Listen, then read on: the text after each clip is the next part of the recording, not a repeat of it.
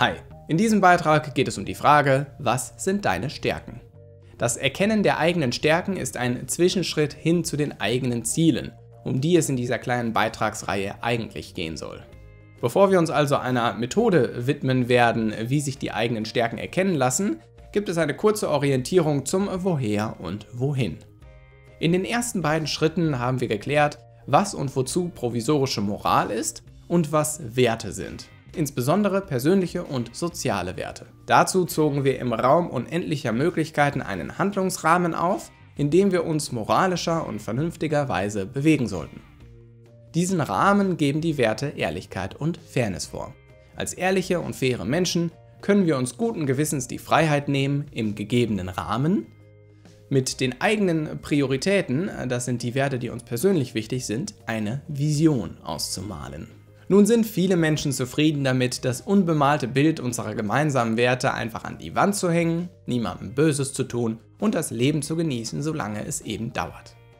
Diese Menschen waren ganz am Anfang gemeint, als ich mich im Beitrag Ein Jahr, das dein Leben verändern kann, korrigiert habe. Nicht jeder Mensch muss die Fragen nach den eigenen Werten, Stärken und Zielen für sich beantworten. Wer mit den eigenen Werten schon zufrieden ist, prima. Wir sind jetzt hier fertig. Tschüss. Manche Menschen sind aber nicht ganz so genügsam. Die wollen nicht nur sein, sondern werden, wollen etwas anstreben, wollen das Bild weiter ausmalen, bildlich gesprochen.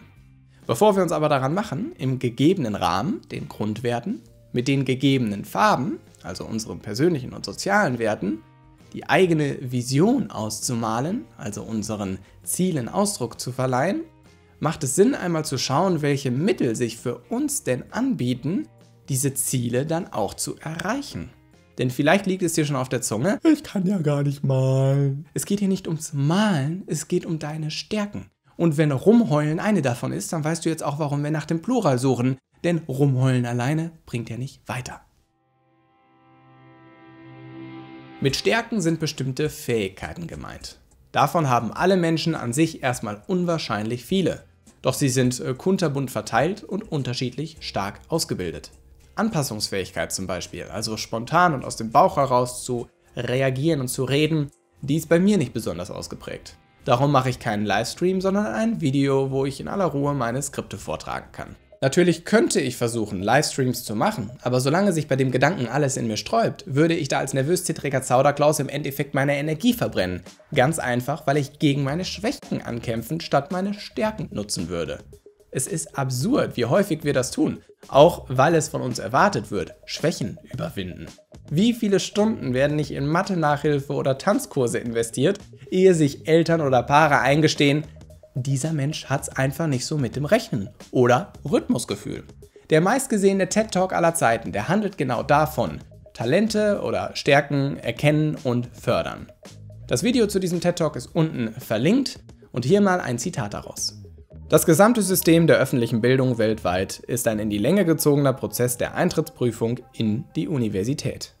Daher denken viele hochtalentierte, brillante, kreative Menschen, dass sie es nicht sind, weil ihr Talent in der Schule nicht wertgeschätzt wurde.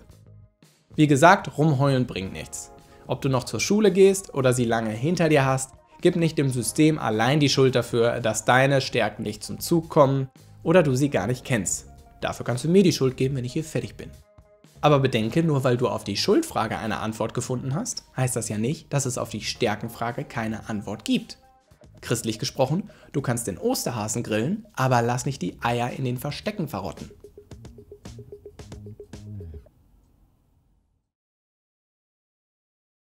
Das Schöne an der Beschäftigung mit den Stärken ist, dass sie viel mehr Spaß und Motivation bringt als der ewige Kampf gegen die Schwächen. Das Schwierige an der Beschäftigung mit den eigenen Stärken ist, sie zu finden oder zu erkennen. Du kannst natürlich äh, Verwandte oder Bekannte fragen, auf dass sie dir mal ehrlich sagen, wo sie deine Stärken sehen.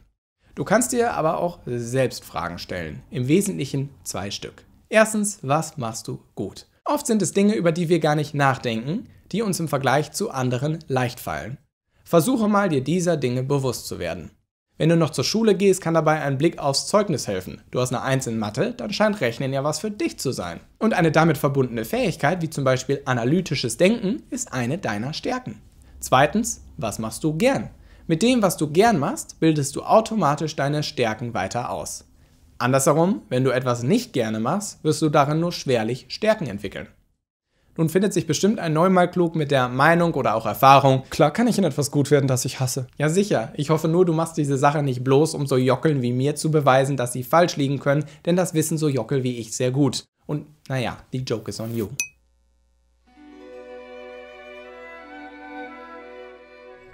Apropos Stärken, die hier hat keine mehr. Kleiner Lichtwechsel. Die Frage, was du gern machst, scheint nicht immer gleich auf deine Stärken hinauszulaufen. Wenn das, was du gern machst, zum Beispiel Netflixen ist, am liebsten 24-7 mit Pizza im Bett, tja, was dann? Ehrlich gesagt würde ich diese Antwort gar nicht gelten lassen. Denn Binge-Watchen hat so viel mit Machen zu tun wie ein Serienmarathon mit einem Marathon. Mit Machen ist ja eine aktive Tätigkeit gemeint, kein passives sich berieseln lassen. Insofern spielt Zocken in einer ganz anderen Liga als Bingen. Denn beim Gaming geht es durchaus darum, etwas zu machen, zu agieren, zu interagieren. Davon lässt sich ganz einfach auf mögliche Fähigkeiten und Stärken schließen, sei es strategisches Denken oder Reaktionsfähigkeit. Also nochmal, was machst du gern? Jetzt mit Blick auf die zugrunde liegende Absicht. Wenn du gern Netflix schaust, um Filmkritiken zu schreiben, dann zeugt das von einem Fable für hermeneutisches Denken, also dem Deuten und Interpretieren von Bildern und Geschichten. Das ist eine Stärke, die du auf vieles andere anwenden kannst. Wenn du gerne Serien schaust, um mitreden zu können, dann liegen deine Stärken womöglich in der Kommunikation oder Vernetzung. Wenn du was auch immer schaust, einfach nur um rumzugammeln, dann wird schon schwieriger. Vielleicht wurde dir ja eine Karriere als Model in die Wiege gelegt. Einfach mal den Bildschirm durch einen Spiegel ersetzen, hin und wieder die Position wechseln und dein Potenzial abschätzen. In jedem Fall hier eine Methode zum Erkennen deiner Stärken. Schritt 1. Ableiten. Leite aus den Tätigkeiten, die du gut und oder gerne machst, die Fähigkeiten ab, die diesen Tätigkeiten zugrunde liegen und die deine Stärken enthalten können. Als kleine Denkhilfe gibt es im Blog eine Liste mit möglichen Stärken im Überblick, die ist unten verlinkt. Schritt 2. Loslegen. Leg deinen Fokus auf diejenigen Fähigkeiten, die du zu Stärken ausbilden willst. Das kannst du tun, indem du die Tätigkeiten, die dir leicht fallen oder die du sowieso gerne machst, fortan bewusster machst oder indem du etwas Neues ausprobierst, indem die Fähigkeiten zum Einsatz kommen, die sowieso in deinem Handlungsspielraum liegen. Weitere wirklich gute Tipps zum Thema Stärken erkennen gibt es in einem Video von der Glücksdetektivin Katharina Tempel, das ist unten verlinkt. Sich zunächst über die eigenen Stärken im Klaren zu werden und dann erst Ziele zu stecken, erhöht ganz einfach die Chancen, diese Ziele auch zu erreichen. Und das trägt ganz nebenbei auch zu deinem Selbstwertgefühl bei.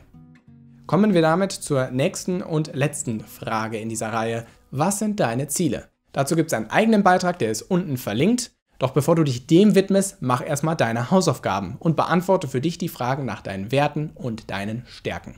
Ich sage danke fürs Zuhören und bis zum nächsten Mal.